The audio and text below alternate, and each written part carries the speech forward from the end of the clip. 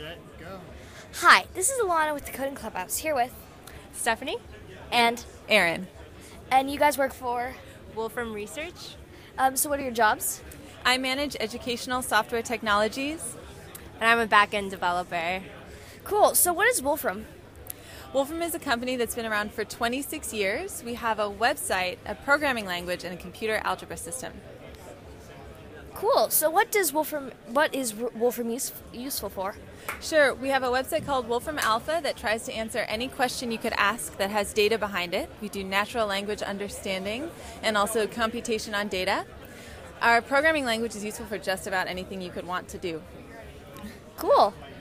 Um, I heard. I thought you said something about Siri. What What is that all about? Oh, yeah. Siri uses our website Wolfram Alpha to answer random questions. For example, what's the height of Barack Obama divided by the height of Beyonce?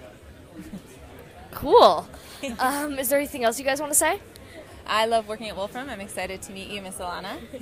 You? Yeah, go Girls Dev Week.